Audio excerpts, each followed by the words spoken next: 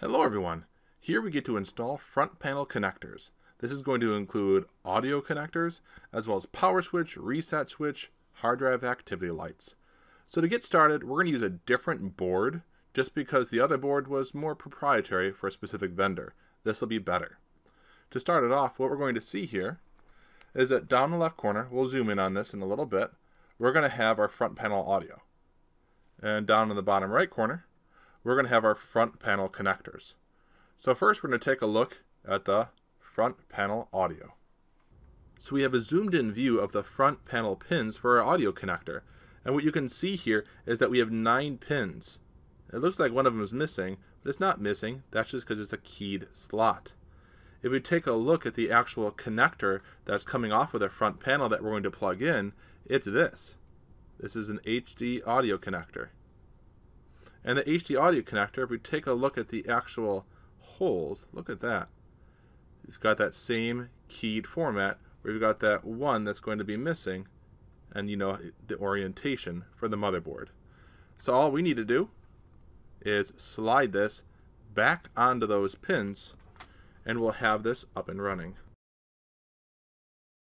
So we've got our audio connector connected to our motherboard and now we're going to move over to the front panel. So let's take a closer look at the front panel connectors on the motherboard. Here they are at the bottom right corner. What we'll see here is power LED, as well as hard drive LED, power switch, speaker, which is not your normal speaker, that's your errors and think BIOS and boot up issues, and a reset switch. What we need to do is take these connectors that are coming off of the front panel of our tower and we need to hook them accordingly. Well, how do you know what goes where and what orientation? That's where you consult your manual.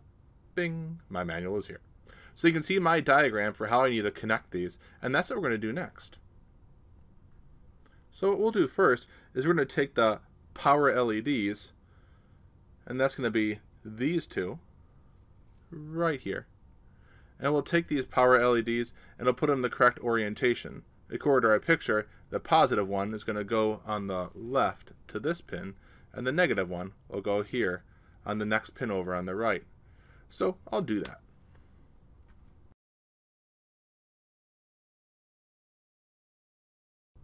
And what you'll notice is there is a gap between those two, and that's okay. That's a blank slot. Again, it's keyed. Next, what we want to do is go ahead and do the power switch. That power switch is hiding underneath here. There we go. This is the power switch. And the power switch is going to go right here where you see the power switch one, PWR SW. Same thing for this. We don't have to worry about a positive negative. We just need to drop this thing on that power switch. Power switch is installed. Next, we're going to do the reset. So we'll find the reset switch, which is this one right here. And reset needs to go on these two, as it shows in our diagram. The reset switch is now installed. And lastly, we're going to set up and do the hard drive LED. Hard drive LED, according to our diagram, is the bottom left corner. And our front panel connectors are now installed. So it's all installed. That's awesome. If we had any USB connectors, we'd pop them in and plug them straight into these keyed USB ports, and we'd be fine for those as well. My system does not have those for this motherboard and this case that I'm utilizing, so we don't have to drop those in.